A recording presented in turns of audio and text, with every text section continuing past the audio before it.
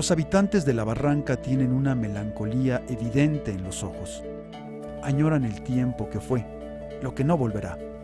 ¿Cómo se vive en medio de la belleza de un paisaje agreste? ¿Cómo entra el estallido de todos los verdes? ¿Cómo en una soledad que es casi una segunda piel?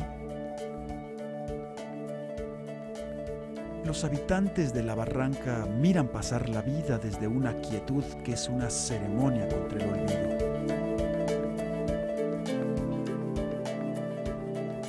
Puede ser aquí un paraíso, tanto en agua como en árboles, fruta, mucho pescado, mucho camarón, mucha vida, mucha vida.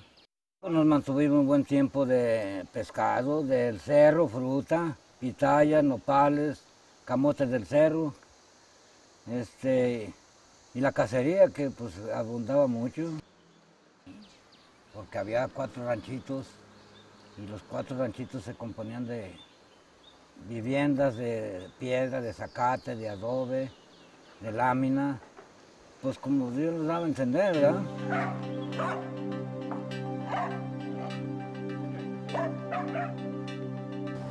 Fueron paraíso las huertas, ya no es negocio ya no es negocio, no. Manguito ya chiquito, que era un mango bonito, oloroso, bonito, bueno. Y ahorita pues agarrará a comerse uno o dos mm, manguitos escogidos, pero ya también el manguito ya no, ya no ayuda. ¿Y ahora de qué Todo se acabó, las plataneras, había mucha naranja lima, naranja, melón papayo, había fruta de todo. Se acabó. ¿Y qué se hace? No podemos hacer nada. Pues ahí, cuando empezaron la vía fue en 1923, pero ya había máquinas aquí, ya había máquinas chiquitas, eran transformadorcitos chiquitos. Y esa la bajada estaba allí donde están los guardabosques ahí, al canal, ya de ahí se la estarían empujando con gente. Ya empezaron a hacer la vía en 1923, ya, ya empezaba a bajar el carrito este. Y empezaron ya a bajar transformadores grandes, máquinas pesadas. Aquí bajó toda la maquinaria.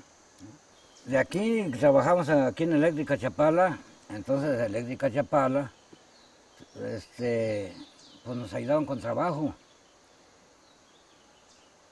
Un mes sí y dos no, entonces pues muchos aguantamos el ritmo y muchos nos salimos a buscar la vida afuera, ya con familia.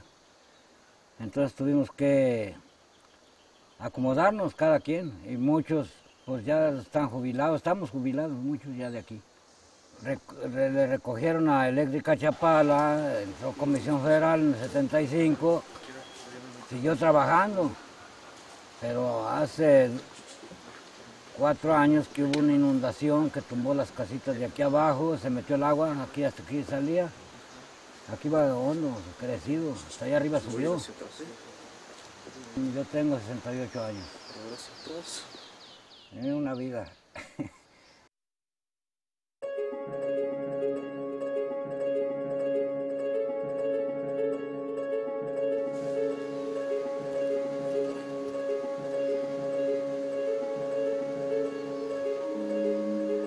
Barranca nunca ha sido, diríamos, suficientemente aprovechada por los tapatíos, o más bien dicho, ha sido medio desaprovechada. Hay una opinión que daba un antiguo ingeniero de Guadalajara, el ingeniero González Madrid, que decía que finalmente los ricos de Guadalajara no eran tan listos, porque la parte más lucidora de la ciudad era esta, y se la habían dejado, diríamos, pues como a los estratos populares, ¿sí? Y que, este, lo cual hablaba, de- decía, él insistía en eso, en que, los, en que los tapatíos no eran tan listos. Que finalmente tener una casa aquí con esta vista, ¿para qué quieres un jardín? Si, si tienes todo esto aquí a tu alcance, ¿no? Es decir, como al estiras la mano y estás, este, tienes acceso a la, a la barranca, ¿no? A una vista escénica espectacular.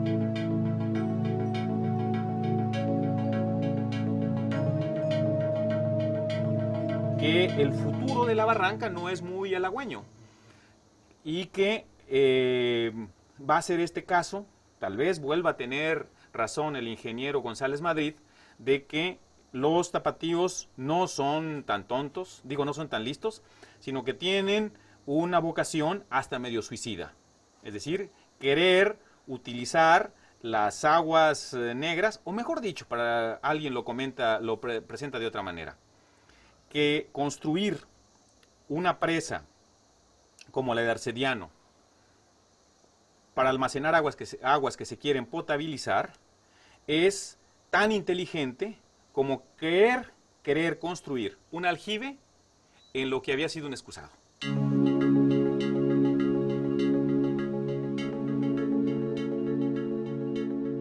La barranca es el paraíso desdeñado. Si el río Santiago tardó más de 30 millones de años en horadar la roca, el hombre ha tardado muy pocos años en convertir las aguas del río en un vertedero de contaminantes. El paisaje del cañón pareciera estar en una tranquilidad falsa.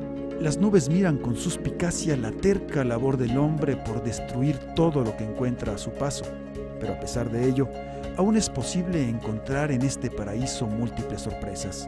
La barranca Oblatos Huentitán fue declarada como área natural protegida el 7 de junio de 1997 por el Cabildo de Guadalajara y recibe varios nombres a lo largo de la cuenca del río Santiago, tales como Oblatos, el Tecolote, Huentitán, Paso de Ibarra y La Experiencia. Pero a pesar de sus nombres, a pesar de que el ser humano es terco en sus destrucciones, la barranca sigue sorprendiéndonos por su belleza. Algún día será el paraíso recobrado.